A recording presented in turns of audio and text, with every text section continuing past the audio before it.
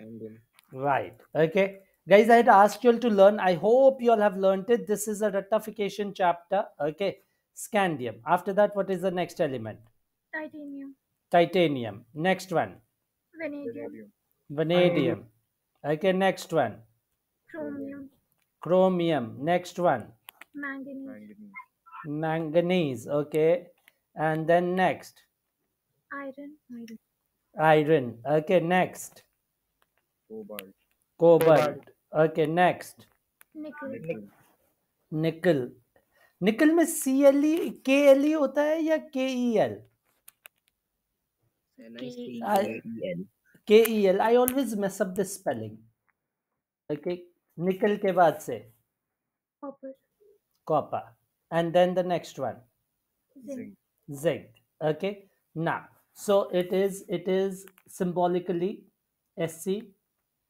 now so it is it is symbolically sc ti v cr mn fe co ni cu and zn ठीक है? So you know when when around 10 15 years ago जब मुझसे याद ही नहीं हो रहा था सीरीज़ इतना लंबा चौड़ा सीरीज़ तो I had made it out like this for myself Shanti, Tiwari will cry many M N many feel cold okay उसके बाद से इजी था। कोल्ड कोबल्ट के बाद निकल आता है, पता ही है। ओके मैनी फील कोल्ड कुछ और तीन और बनाया था, अब दिमाग से निकल गया बट यस सीरीज़ को किसी भी तरीके से आप बनाओ सेंटेंस बनाओ, किसी भी तरीके से करो you just need to learn it up okay now now if you look at the atomic number, the atomic number is 21 22 23 24 25 26 27 28 29 and a 30 this is the atomic number when we write the electronic configuration now this starts from the fourth period this is a 3d series so if it starts from the fourth period helium neon argon argon के बाद अब हमारे पास क्या आ जाएगा we will get it as a 4s2 ठीक है and 3d1 please keep on checking if i'm writing the correct electronic configuration or not 4s2 3d2 then argon 4s2 3d3 then argon okay 4s1 3d5 Yes, sir. Okay four S one three D five okay ये ये ये electronic configuration one marker में बहुत आता है. Four s two three d five and then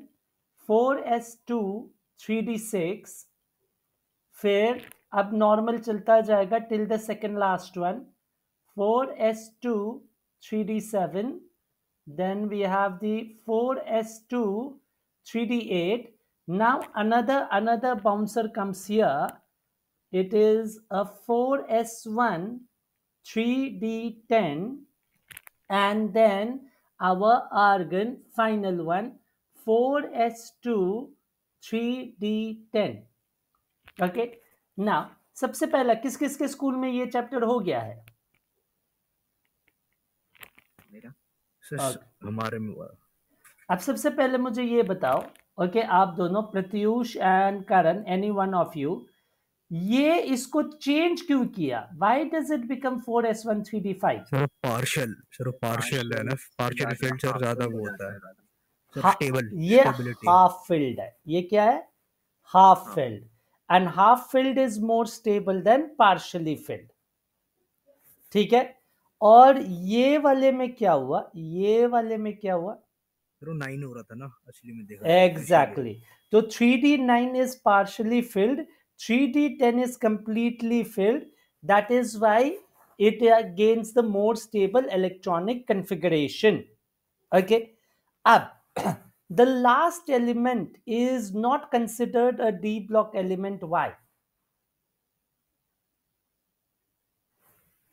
Why is the last element not considered a D block sir element? क्योंकि sir जब वो लूज करे इलेक्ट्रॉन तो सर एस एस से करेगा डी से नहीं करेगा Okay. सर वो पा- वो पार्शियली फिल्ड हो जाएगा नाइन अगर थ्री डी नाइन हो जाएगा तो स्टेबल नहीं ओके अब मुझे ये बताओ कि what is the definition of a d block element anyone anyone who knows what is a d block element Wh- how can you define a d block element sir वो elements जो transition कर रहे हो metal से non metal में okay वो तो बेटा पी ब्लॉक में भी है पी ब्लॉक में भी आपके स्टार्टिंग में तो मेटल्स हैं बीच में मेटलॉइड्स है उसके बाद से नॉन मेटल्स है तो वो पी ब्लॉक वाले को हम क्यों नहीं कहते फिर ट्रांजिशन एलिमेंट्स उसको हम d d d sir d orbital में हमारे इलेक्ट्रॉन हाँ, ज़्यादा है ऑर्बिटल की होता है सर अब इसमें भी तो लास्ट इलेक्ट्रॉन डी में ही आया है। जिंक में भी जिंक में भी लास्ट इलेक्ट्रॉन तो डी में ही आया है। लेकिन हम इसे डी ब्लॉक एलिमेंट ही नहीं मानते।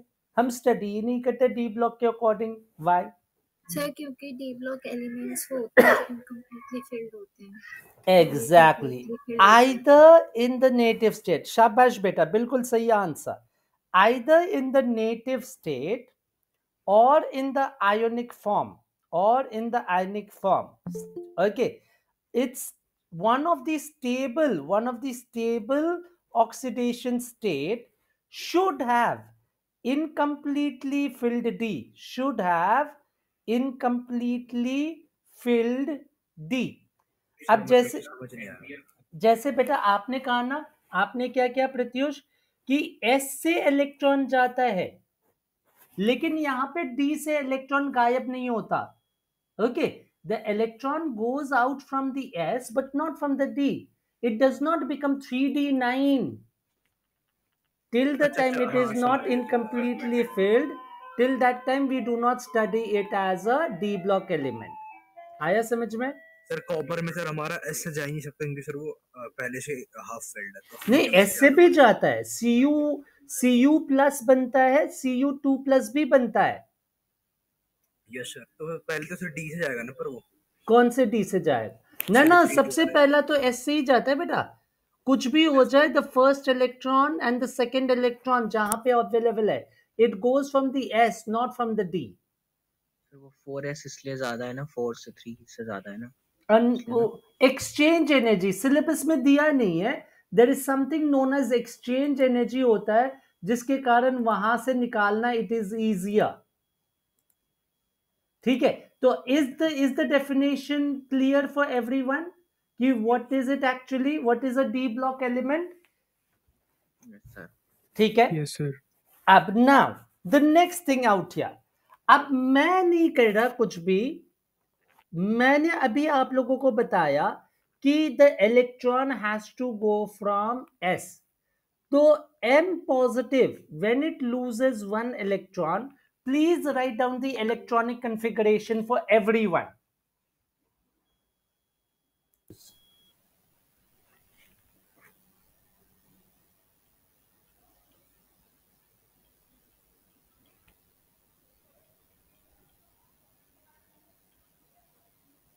Mm-hmm.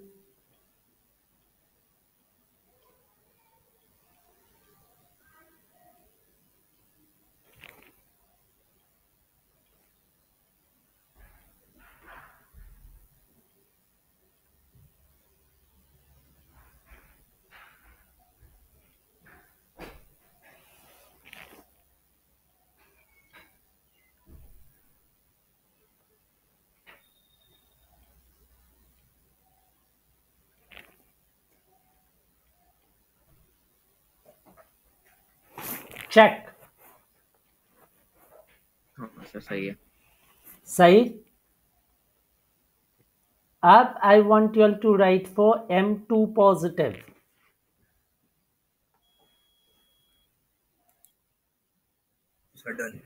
okay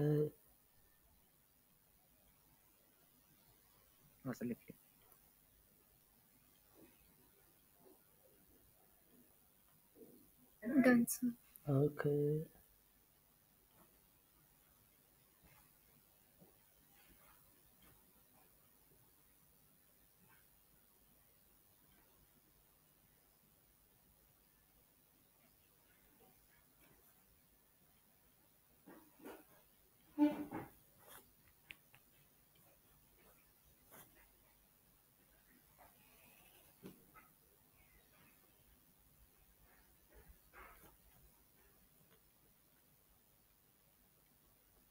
check guys everyone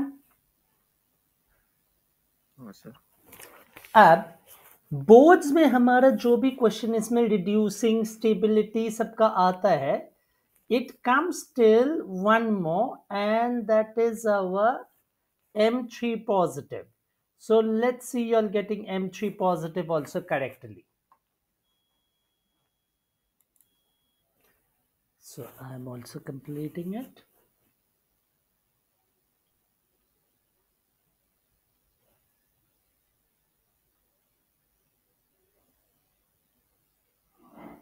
Sir done Yes, sir, done. okay.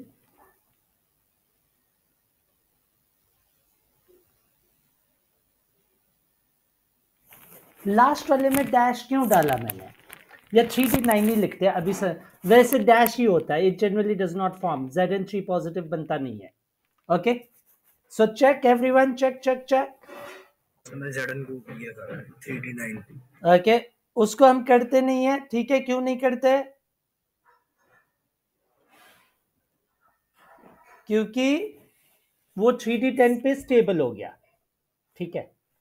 आप मुझे ये बताओ आउट ऑफ़ स्कैंडियम में M positive M two positive M three positive which one is the most stable one M positive M3 positive. M3 positive. This is the most stable one. Okay. अब ये five वाले में आते हैं four s one three d five four s zero three d five okay इनमें four s zero three d four हो गया three D three हो गया which according to you is more stable M plus M plus. बिल्कुल सही. So it would want to come here. Okay. Now manganese में which are the two most stable electronic configurations? Sir M plus two और plus M plus M two Okay. So ये वाला ये वाला भी stable होगा completely हाफ़ फिल्ड है और ये वाला भी स्टेबल होगा ठीक है अब आयरन में कौन सा सबसे स्टेबल है सर एम टू प्लस और M three plus M three plus because सिर्फ़ यहीं पे थ्री डी फाइव है। ठीक है? आप कॉपर में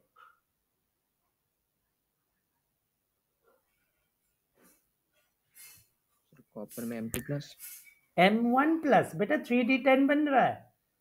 एम वन प्लस क्या बन रहा है? Three d ten okay sir and zinc में जिंक में सर सभी हैं स्टेबल। सबसे ज़्यादा स्टेबल ये वाला। In the plus form we are not talking about in the native form ठीक है? अब आयनिक फॉर्म में स्टेबिलिटी क्यों स्टडी किया?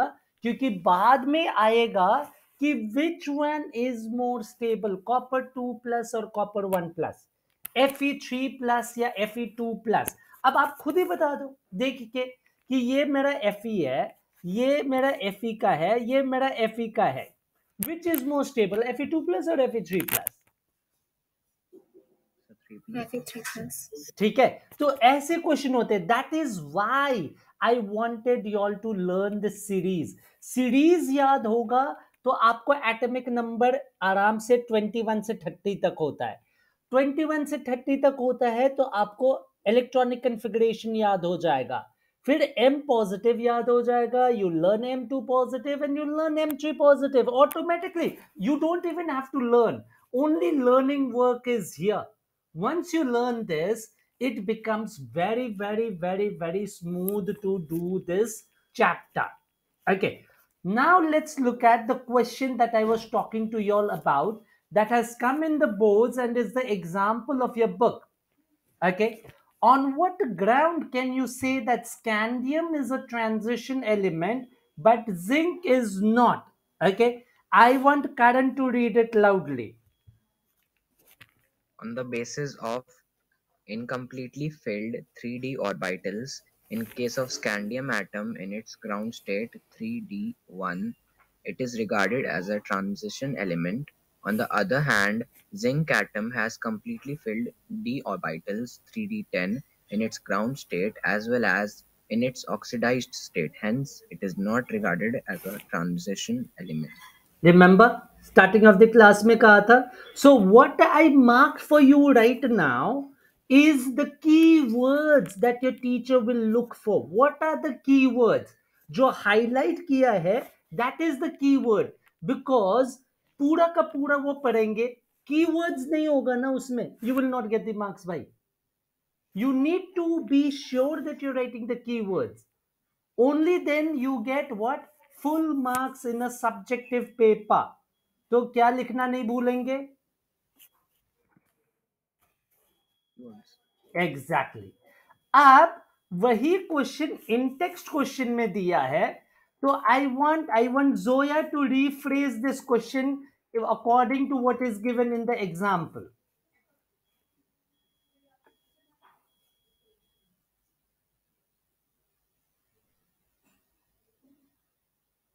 Zoya? Yes, sir. Just a second. On what ground can you say that silver is not a transition element? Yeah, and silver, just giving you a hint, it is the second last element of 4D series.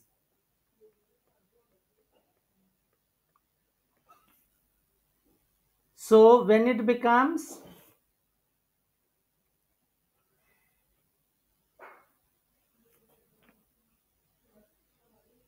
three S uh, one and forty ten. Exactly, three S one for the that is the electronic configuration अब इनमें electronic configuration नीचे वाले में वैसे नहीं होता जैसे ऊपर है इसमें आपको क्या हो जाएगा five s two and three d nine so if it is a four d nine if it is a 5s2 and a 3d 4d9 automatically incompletely filled है if it is incompletely filled then it is a transition element exactly okay so guys understood this one marker? Excuse me, sir. Yes, beta. Shouldn't it be 5S1 4D10? What did I write? No, beta. It is only for the first series. Okay. No, second series maybe it is given that way only. Yeah, yeah, yeah. 5S1 and 4D10. Yeah, second series will also go like this only. Okay. So in its oxidation state, in its oxidation state, it can become what? Incompletely filled the orbital. Ag2 positive will become 5s0 4d9. Okay, so Ag2 plus is possible. That is why it is what? Transition element. Hey, shabash. Now, now let's come to the next one. Aapka the sir sir ये लिखना है? Sir ये silver वाला। वो तो आप अपने keywords में बना लो। बुक अगर खुला है तो बुक में वहीं पे इंटेक्स क्वेश्चन के साइड में डाल दो। ठीक है? नहीं सर कॉपी लेके बैठा हाँ कॉपी के पास लिख लो कॉपी में लिख लो। ओके ना ना फ्रॉम हियर जनरली आज तक कोई भी क्वेश्चन नहीं आया है।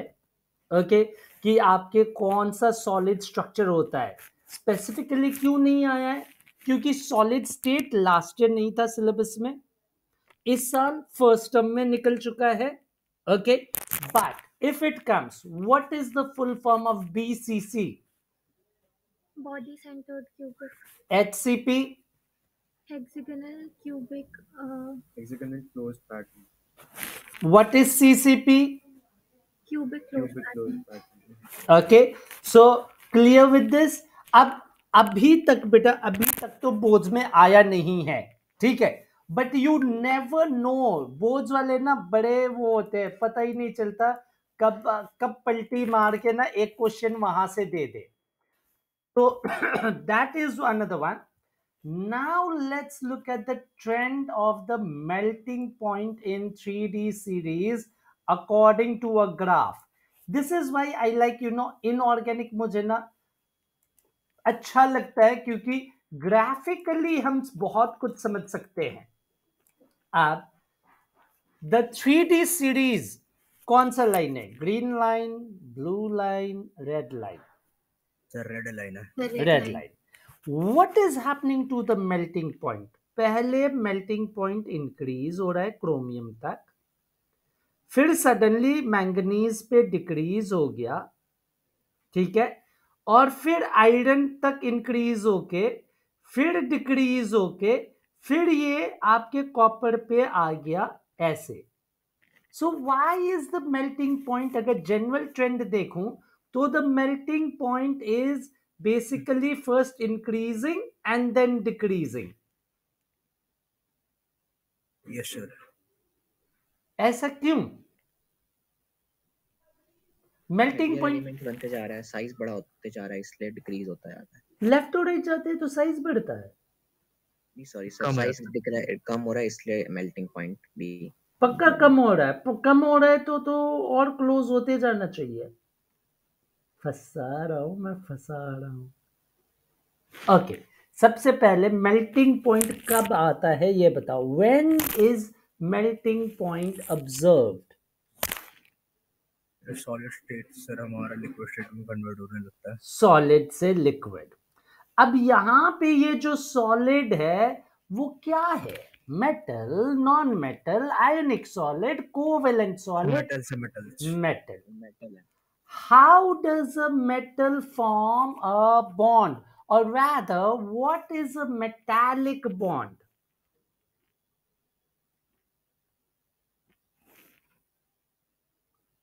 Metallic bond क्या होता है? सर अपने जो इलेक्ट्रॉन्स है वो शेयर करता है वो। जो अनपेड इलेक्ट्रॉन्स है सारे नहीं जो आपके।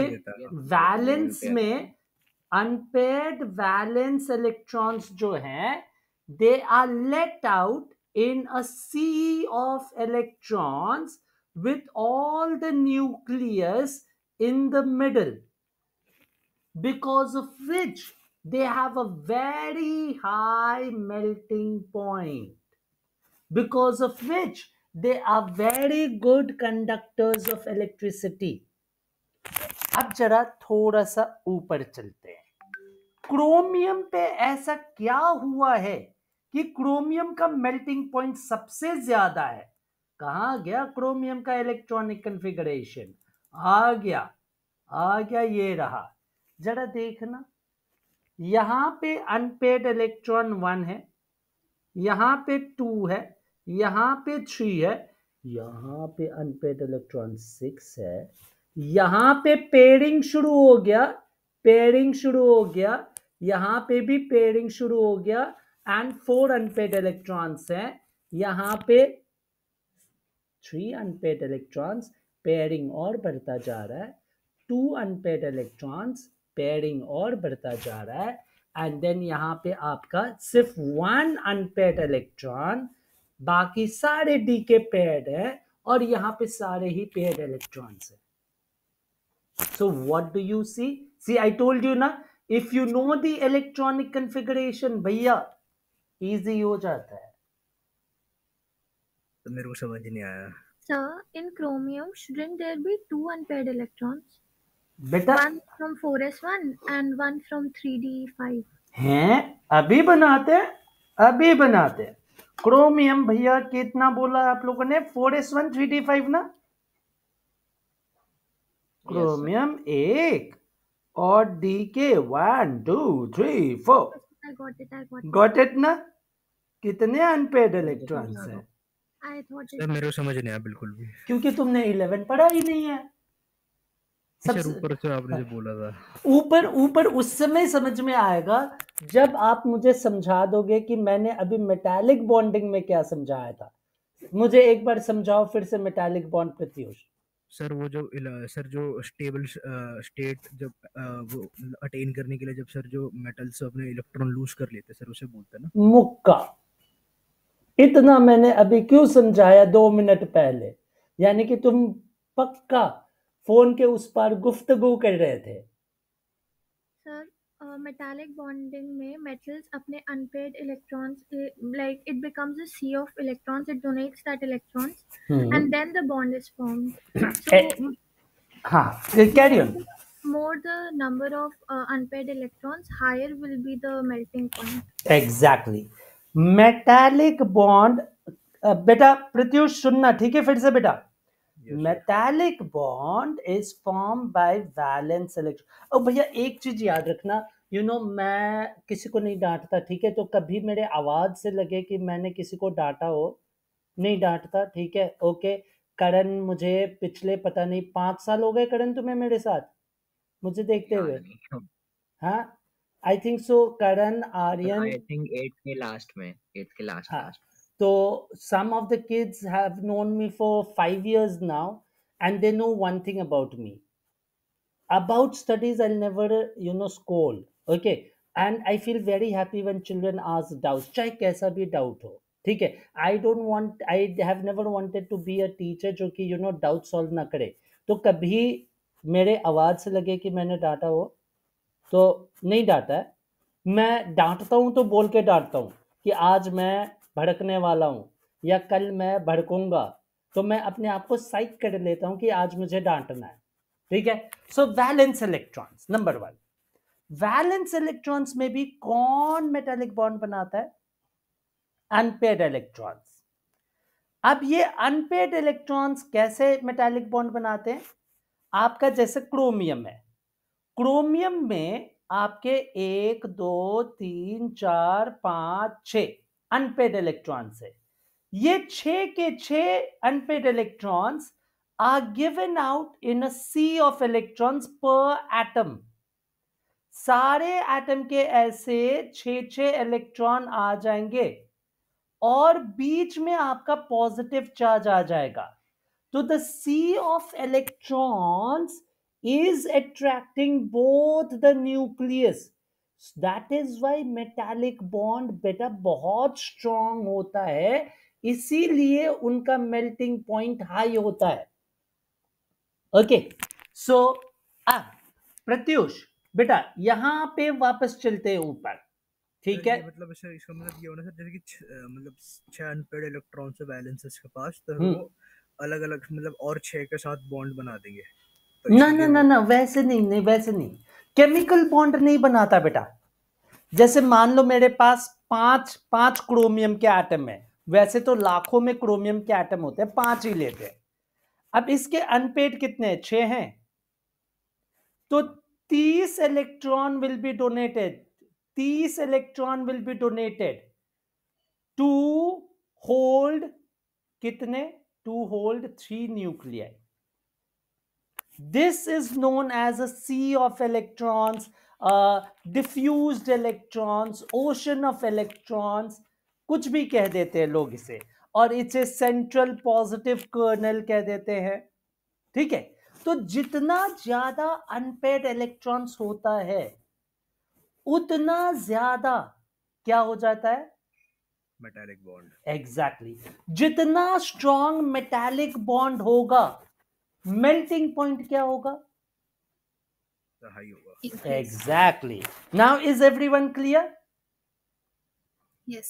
ना now my question next question is to Ashwati Ashwati chromium का यहाँ पे ऐसे है जैसे अभी अभी हमने किया okay one two three and four so chromium is like this and उसके बाद वाला जो मैंगनीज है manganese is like this okay one two three four five लेकिन ग्राफिकली देखें तो भाई इट जस्ट डिप्स यार it just dips chromium has the highest melting point and manganese has the lowest melting point it just dips why was there such a huge dip? बोलो बोलो somebody was saying. Sir मैं बोल रहा sir उसका sir metallic bond weak था मतलब कम था इसीलिए। ओके फिर मेरा काउंटर क्वेश्चन है। Ashwati you have got a hint what is the element after manganese iron अभी अभी किया था हमने? The next one is iron right it's electronic configuration is like this इसमें तो अनपेड इलेक्ट्रॉन्स और कम हो गए। सर हाँ। अरे सर वो हाफ़ फ़ील्ड है सर तो स्टेबल है वो पहले तो स्टेबिलिटी इलेक्ट्रॉनिक कॉन्फ़िगरेशन की स्टेबिलिटी है। It does not want to lose electron की स्टेबिलिटी है। हाँ जी बेटा। So I think the manganese has low boiling point because in the s orbital it is paired and it is like it is not going to lose from there and in the d orbital it is stable. That is why it has Okay, the dip is there. Okay, I understand. One more hint that Ash- Ashwati has given is it is paired. Now, somebody tell me what is the charge on an electron, Yara? नहीं नहीं positive या negative ऐसे ही बता दो यार। Negative ठीक है? दो नेगेटिव दूर दूर हैं और दो नेगेटिव नज़दीक आ गए। क्या होएगा फ़र्स्ट एंड सेकंड केस में? In the second case repulsion exactly so when you do the pairing the repulsive forces suddenly increase. The repulsive forces suddenly increase and the melting point just dips. The melting point just dips. ठीक है लेकिन लेकिन अगर मैं यहाँ पे देखूँ फिर से आयरन पे तो और भी पेयरिंग हो गया in iron there is more pairing iron में पेयरिंग यहाँ पे भी है, यहाँ पे भी है बट इसका मेल्टिंग पॉइंट इससे ग्रेटर है। अब ये भला क्या चीज़ है यार, ये केमिस्ट्री ना, बिल्कुल मिस्ट्री है, पता नहीं, फेंकता रहता है बाउंसर ये आ गया समझ में, इसका बॉइलिंग पॉइंट बहुत ज़्यादा था because metallic bonding is very strong because सबसे ज्यादा अनपेड इलेक्ट्रॉन्स इसके पास है डन समझ में आ गया ये वाला भी समझ में आ गया कि when the electron is you know paired so repulsion repulsion increases and when the repulsive forces increases automatically what is going to happen the melting point is going to decrease but if the same concept is true there are, is more pairing occurring if there is more pairing occurring there is more repulsive force so why did the melting point increase Sir, in manganese, the d orbital is half filled. Hmm? So it won't be easily able to lose electrons from there. But in iron, our uh, our uh, d orbital is not half filled. okay So yeah, okay let's see like this when you go from left to right what happens to the atomic number So increases. atomic number increases okay अब the shell is the same it is all 3d okay if the atomic number increases number of protons in the nucleus is increasing or decreasing increasing. Increasing.